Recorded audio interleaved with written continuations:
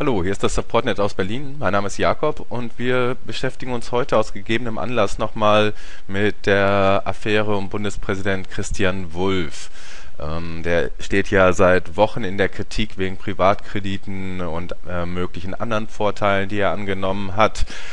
Und ähm, worum es heute geht, ähm, das ist darum, ist denn der Wolf nicht vielleicht schon im Internet gefangen?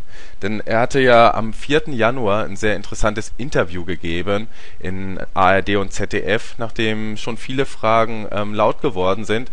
Und was hat er damals gesagt? Hören wir mal kurz rein. Werden, dann kann ich nur sagen, ich gebe Ihnen gerne die 400 Fragen, 400 Antworten. Äh, da ist jetzt etwas, was einen dann innerlich auch nach solchen drei Wochen irgendwo frei macht, dass man sagt, also jetzt ist wirklich alles von innen nach oben und umgekehrt gewendet.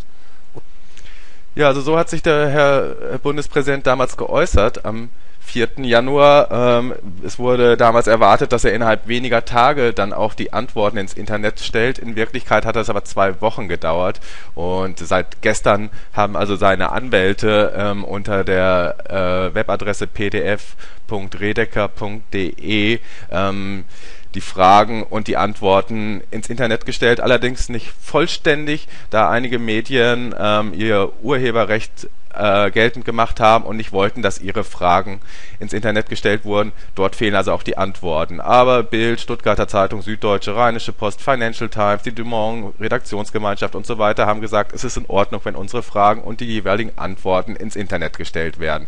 Man kann also hier drei verschiedene PDFs herunterladen, ähm, um diese ganze äh, dieses ganze Material zu lesen. Ich habe hier mal den Teil Nummer 3 heruntergeladen und da sehen wir schon, es sind also bestimmte Sachen immer noch geschwärzt und es werden sehr genaue Fragen gestellt und auch relativ genaue Antworten gegeben.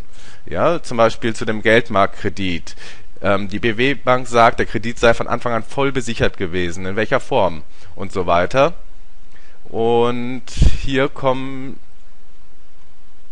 etwas weiter unten auch antwortend, ja, rollierender Geldmarktkredit, Zwischenfinanzierung, Zinssatz. Also es gibt jede Menge Material mittlerweile. Hier in diesem Fall ähm, also drei riesengroße PDFs mit sehr, sehr viel Fragen und Antworten. Ähm, da werden heute vermutlich die Redaktionen das Material sehr genau durchgehen, um herauszufinden, welche Fragen noch zu stellen sind und ob sich vielleicht in den Antworten auch Widersprüche ergeben.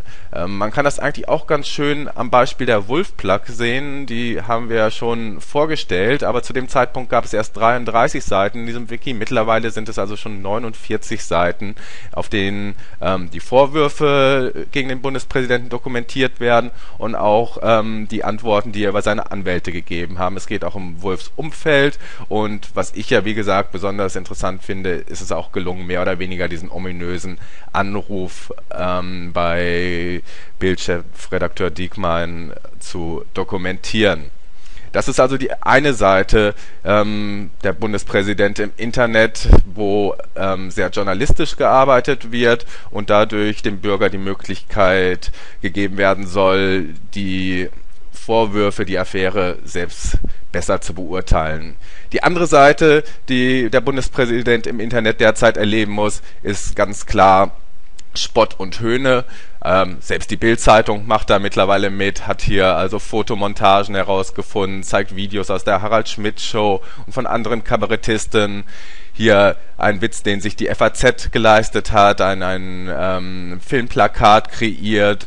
Werbetreibende wollen da mittlerweile mitmischen, nicht? günstige Mietwagen gibt es bei Sixt und Spaß kann man auch ohne reiche Freunde haben, sagt da der Autovermieter. Der Entenkurier ähm, beschäftigt sich mit der Affäre und natürlich auch das Satiremagazin Titanic.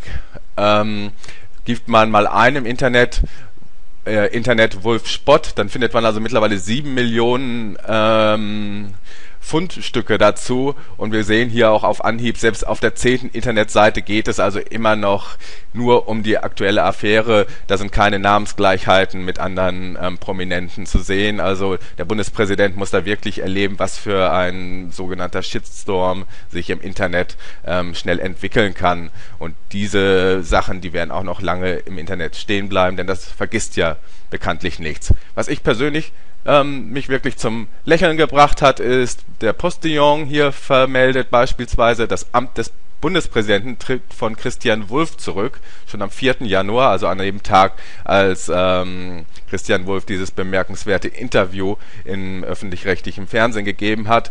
Oder auch einen Tag vorher, Wulff spricht 82 Millionen Deutschen auf die Mailbox, um Gerede zu unterbinden.